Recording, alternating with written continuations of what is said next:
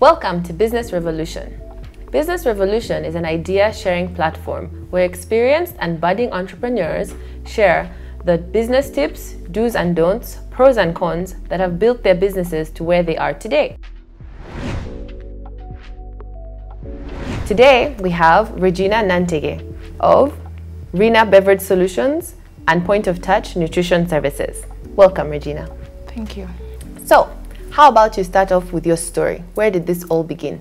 Um, for the Rena beverages, I want to start by telling the story of um, watching my mom start this business.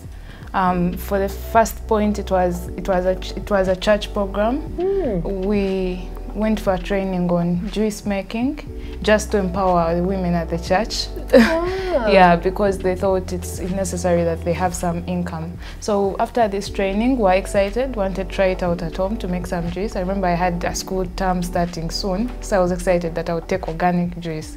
So we brought fruits, do the normal juice blending like we usually do, but this time I preserved it and packed it oh. for long-term use but the fresh juice. So for me, it was a big deal to carry fresh juice, concentrate, I could keep for a whole term, as opposed to quencher, which is just artificial. Yeah. Yes. So after that, we started to do a lot of passion fruit concentrate because it was very nice for people. Mm. They like the idea of not having to wake up and blend or make. It's the longest process. Yes.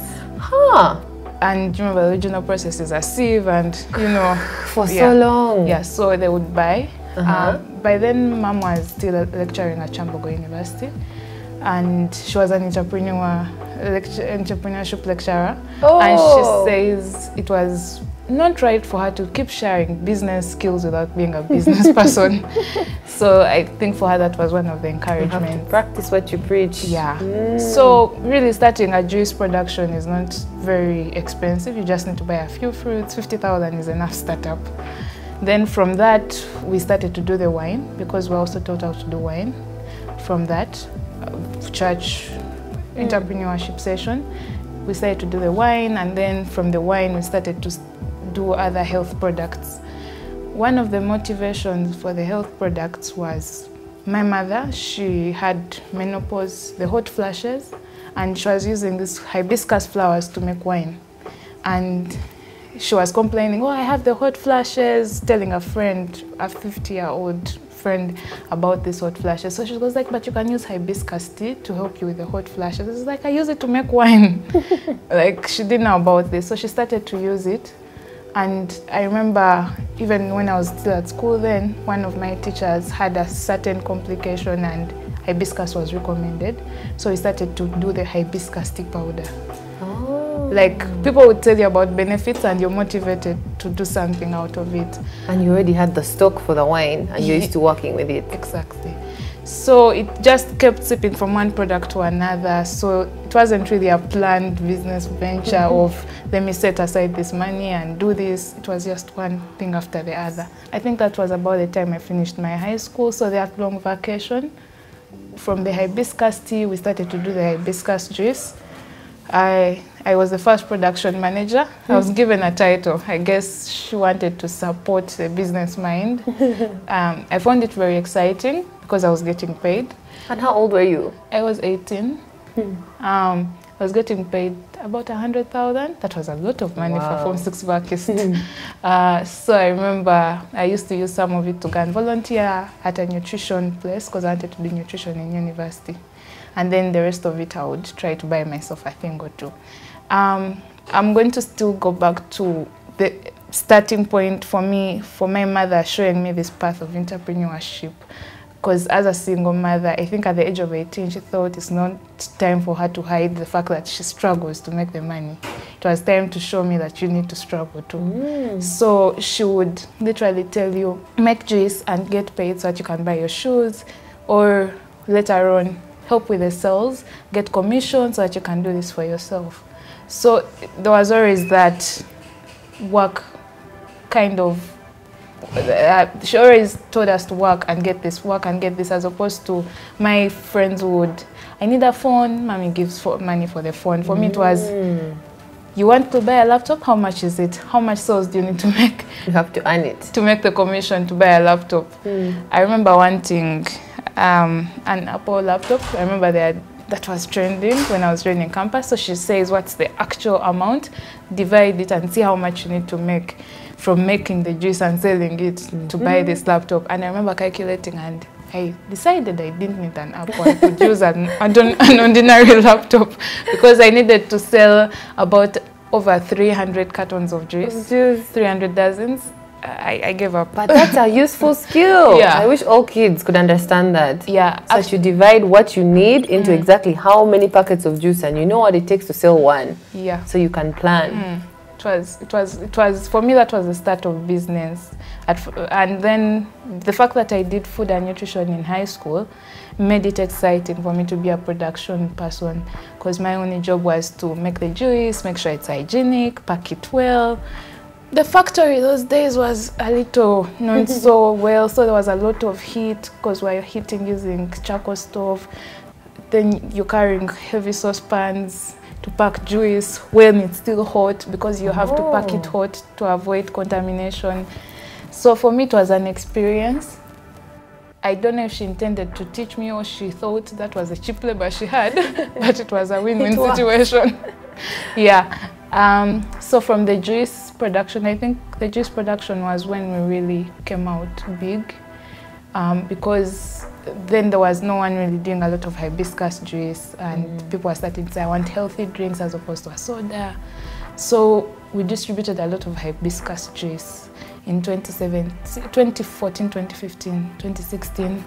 Then we also took on the initiative to get a standards mark from UNBS. Mm. By then, almost none Ugandan product had a UNBS mark, apart from the big companies, Coca-Cola, mm. the local, Splash, yeah, Splash. No one had a UNBS mark. I remember actually when we wanted to get the hibiscus juice standards mark, it was the first for that particular kind of product. Not a soda, not the normal fruit imitated juices. Oh. So I think UNBS really nurtured us through a process and took us through, like they, they, they helped us more than if it was already a standard and we're here to get just another mm, standard. Because it was there first also. Yeah. Um, we got, I think getting the standard also opened up a lot of opportunities because you're like an example for the Ugandan producer that you can have a standard and these are the benefits. We thought we'd get a lot more from getting a standard, like selling more, mm. thinking Ugandans would choose our product over the others, but that is not the case in Uganda. No, no one cares. No one cares. our mark is ours alone. Very few appreciate it. They trust your brand, not the UNBS certification. Yes, yes, exactly. Mm. But at least UNBS helped us meet different people because they would always want to represent you as someone with a standards mark. Then mom had always been a member of UWEAL Uganda mm. Women Entrepreneurs. Oh, she was teaching entrepreneurship. Yes. So she would go for the trainings. But also one thing for me was learning about business was, yes, you have a product, it's needed, but you have to show it to the people so that they can take it. Mm. So she would literally attend the meetings more to sell to the business women than to get the knowledge. That's your target audience. Yeah. She had a few business skills as a business lecturer. So for her, her target was I should get to these conferences with these women who have money to buy my product. Mm. So she would carry me along. And you have a, if it's a workshop, you have a table in the corner and you're telling sell. people about the product. So that's how we made most of our marketing, workshop selling, churches mm. and yeah then slowly by slowly people start picking interest in the product and ask you to deliver to a few supermarkets but the start was where is the workshop let's go and sell there um, then in my school time still i remember on my visitation days i hated it uh, that's when we still had only the passion fruit juice she would call you would call from the school booth saying, Mom, it's Vidi. She'd say, when I come prepare a table for us to sell. Business on the mind. Yes. Uh, I think I was lucky to not be a shy girl mm. or a girl who cares about what people think about me in school. So I didn't take it bad, but I think another person would really... So embarrassed, especially as a teenager. Yes. So she would make me secure a table every visiting day to sell products. Mm. So she would literally come and she wasn't asked about your grades yet. She's asking, where is the table? Maybe she trusted my grades, I hope so. So would sell to teachers, to, to fellow students, and ideally the school I was in had people who would afford the product. Mm. So one thing I picked from that is you, when you start a business, you don't have to look out for very big marketing channels at the start. You can start with what you have. You always hit two birds with one stone. Go visit your advice. child. Sell some product. There, yeah. yeah, sometimes should offer juice to the staff room. like so that they learn sample, about then it. they get used. Yeah. So being a nutrition student, I remember in my first year, I think people thought I was not serious in school because I, I literally went to every lecture with a few products in my bag. Ever ready? yes, like, and I would try to sell to my own nutrition lecturers. And I think that was very challenging because you're selling nutrition to a nutrition professor. like you're telling them, you see, please buy this product because it's very nutritious and you have to give this, this, this. reasons to your own lecturer. It, was a bit hard, but some were really supportive. Mm. I remember at my own department, um, I would have to supply about 12 dozens of juice every two weeks. So there would be like six cartons every week consumed That's great. at my own department. it was, yeah, it was great. So people knew, and people sometimes ah. bought because of me, Regina's product, the teachers, everyone. So you would literally find the whole department is drinking Rena hibiscus juice. and it was good for me because you knew there was money coming in. Yeah. And you just call home, a boda boda man comes, drops the juice at campus, go on with your lectures. Maybe once in a while, give your classmates a few samples, they get excited and buy. Mm. Yeah. Wow, so mm. you have all this experience yet you're so young. yeah. You've been doing it since you were a teenager. Yeah. Uh, and uh, it was a bit forcefully, but I started to realize that I built an experience other people didn't because I'm sure my classmates thought, but this girl is ever, after the lecture, running out to try and sell a product, as in when will she ever get the right grades? But that experience with sharing people nutrition, because I was selling a nutrition product, I would even go to the University Senate building sometimes and just randomly knock on offices. I had some courage. So you're like, you're really broke? So you go with a few pieces. We had wine as well, and male lecturers like when you go knock, you're like, hi, I'm Regina, I have this product. I liked the fact that people would sometimes buy because of pity, I think. like, oh, you're a student, you're selling this. And oh, Bambi, let me buy some. Yes. And I think that made me feel like I have to start business when I'm still young. You get a lot of customers because you're young. like, people literally support you just to support this young girl. Mm. And I think when I hit maybe 30 plus, I won't get that same that support. Sympathy. It's not yes. there. Because people literally, oh, let me support. Then they call a friend, see this young girl, support her. Right. Yeah, so that was my goal when I finished my nutrition and dietetics degree, I was saying I have to start business early when people still adore the little girl in business. but these are the insights you're getting because of the on-the-ground experience. Yes. Wow. So now we've heard a bit about how Regina got into this business and how much she knows about nutrition. We've learned so many interesting things. Let's take a quick break. The greatest wealth is health, and your health is your greatest investment.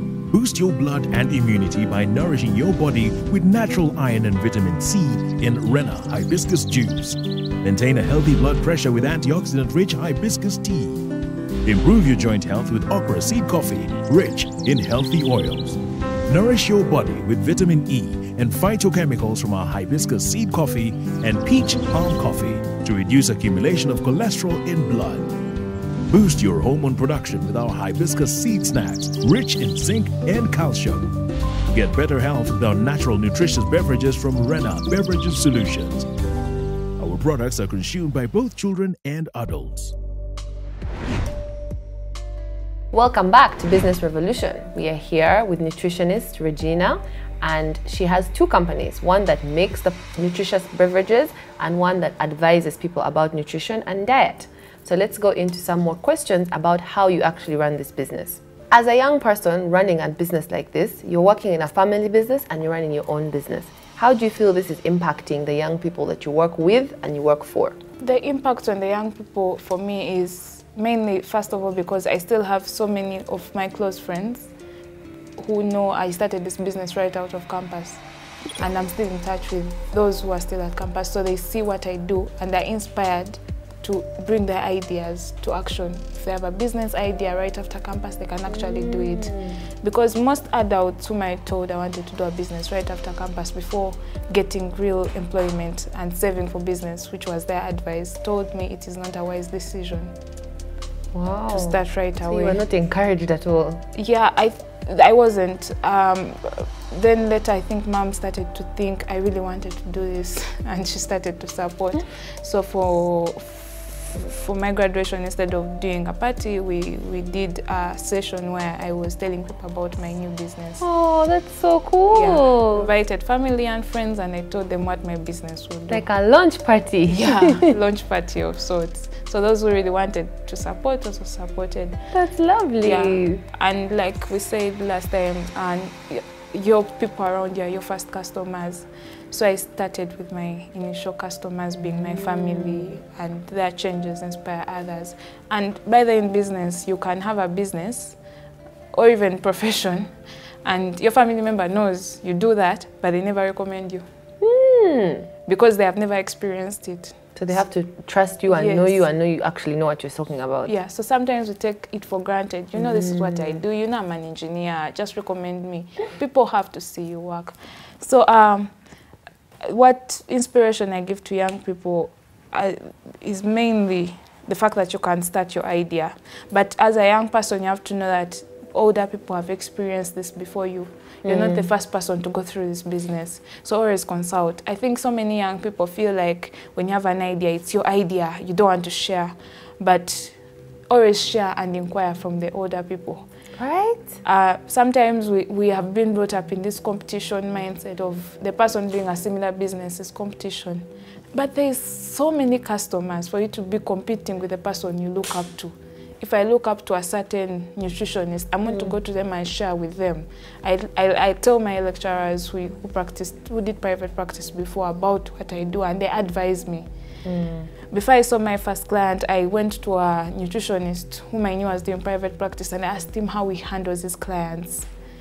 And he guided me. So sometimes I also had that problem at the start as a young person. I thought because I was doing a professional business, people like my mother who are business people, not scientists, did not know what I wanted to do. Mm. So I used to literally walk out from her advice and try to get advice from fellow scientists. Oh. But sharing with her actually gives me a lot of insights.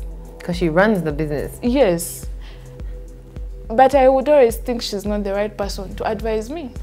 Sometimes it's hard when it's your own parent. Yeah, no, but uh, in a business mindset, like you think because you're doing a different business, you need advice from specific people. So always be open to different ideas from different people. If it's a training on public speaking, go for it. If it's a training on taxes, go for it. Like keep getting the ideas. Ditch what you think is not useful. Pick up what you want. Just say yes and absorb Yes. and pass the. Like how you said the business club really helped you as a mm. nutritionist now. Yes. Mm. And also, the other thing for young entrepreneurs is, again, people have done these things before. It's not always rocket science at the start. People have gone through these hardships. Tell them about your hardships. Mm. If when we were starting our arena production, we, we insisted on give saying we are a sole company, we, we don't want external support from a university, we wouldn't have had some of the things we have now Mm-hmm. because we have nutrition information on our product, we have everything, but we only got it by saying, yes, we are a company, but we need support from another group of professional people. Who know something that you don't. Yes, so we went to them and they guided us, so that mm. pushes you a step ahead. Then the other thing I tell young young young entrepreneurs is to start with what you have. I when we were starting the Rena bu- business, we had the fruits, we could use our sigiri to make the juice, we made it and then kept progressing. When I started my nutrition business, I had my knowledge, very little experience with personal dietitian work. I had clinical practice, but I didn't know how to manage a person for a long time. Because at the hospital, you'd see a patient that discharged. They're not your patients. You don't feel... Where you have to keep following up and coaching them along. Yes, exactly. So it's important for you to just keep learning and also it's important for you to know that every day is a learning point because the way I coach clients is not the way I, I manage clinical cases. When you're coaching, you have to be a role model. Even when you're younger than the person, you have mm. to hmm. give them that image of like sort of adore me or yeah, you have learn to look me. fit and healthy and you exactly. know exactly. So there's a lot to learn, but you have to just start with what you have. Mm. I had my speaking skill, I had my my knowledge. So the speaking skill is what I used to get the customers if I had a skill maybe in something else, I would start with that. So I used this, what I had. I had the skill, I started with the skill for speaking. So I would offer to give free health talks to companies. Mm. I would just go and speak and one person would turn out to be a customer like that. So use what you have to get what you want to get to. And even now, as I make the strategies for RENA, marketing, and also for the nutrition company, I start with the knowledge I have. I tell myself since the asset is nutrition services that I have, that other people making nutrition products may not have a nutritionist, let's use that. So to pull our clients to us, that's the strategy I use. That's your unique selling point. Yes. So mm -hmm. for every RENA customer, I tell them, oh, by the way, in case you have any questions, I can offer you guidance on this. So that's our special thing. So just to round up, is there someone who you'd say inspires you? I think I've figured out it's my mother. because uh, I think I, not very many people grow up with the opportunity to see someone do entrepreneurship. And then also, I feel she opened up as a mother and it's a good thing. Most of our parents in the African setting don't necessarily let us know how they make their money. Mm, that's true. Yeah.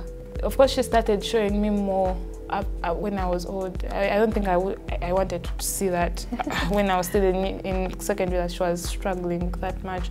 But I appreciate that she let me see what the hustle is. Mm. Most parents don't give their children that chance. And I get very excited when I hear my nieces and nephews say, tell them, mom, oh, mommy, I'm going to pay for you so that you sell a lot, because my oh. so that you get money. Meaning they, they know understand the cycle. Mm most of my age mates don't. And they never, okay, maybe now they know, but they never got a chance to know. So it's a big shock when real life hits yes, you. Yes, so they're always shocked about how hard business is. And for me, I'm like, oh yeah, that's it. like used mm, to this. yeah, so I know there are hardships, and I think that's the best mentorship I've gotten. So I I did look up to her because she's really if I'm sure if she came here, she would make you guys buy the products. like right now, she would have already thrown in an advert about the product. like we can be, she's so aggressive. Too much. Sometimes it worries me. Too much? Is there such a thing as an entrepreneur who is too aggressive? Yeah, like sometimes it worries me because if if you're like, for example, at an event, like usually if you tell her, mom, my friend is getting married, and their customers, like, let me just go and no, enjoy it. Sure, you, she's not being too aggressive. That's how all business people are. Okay. It's so amusing she's to me. indeed a business person. So I think, uh, like seeing her do that challenges me as a young person because she will come back. You've been in the same selling point, and mm. she has done more sales than you. so you're thinking, okay, I should I should really work hard. There's still something she's doing you're not yes, doing. Yes, it's not right. And then she sees an opportunity everywhere like she would try to talk about her product every single place. My cousin was telling me they were in a conference last time and he was in shock. Um, they were talking about some other totally different things and then she puts up her hand, talks about the, the, the, the, the topic and then says, for example, my product, which helps with this. if I did, I'm like, you're making an You're connected. Yes. And, and she sat down and she still put up her hand again and still made a contribution and talked about the next product. like if you're not giving me a chance to talk about my product, I'm going to talk about it in By my comments. You'll find a way. Yes. How can she miss that audience? Those are customers. Yes. So I think seeing her do that is just a reminder to me to really work hard and also seeing her work that hard, knowing she brought us up as a single mom makes me want to reach a point where I help the business grow and she doesn't have to hustle as much as she has. So I think that's my biggest inspiration. mm. It's a wonderful story. Yeah. Mm. We've learned so much mm. and of course we're going to advertise your product on our mm. platform as well. It's been fantastic understanding more about nutrition and about what it's like to run a service business and a product business. I'm Nataliey Bitature and this is the Business Revolution.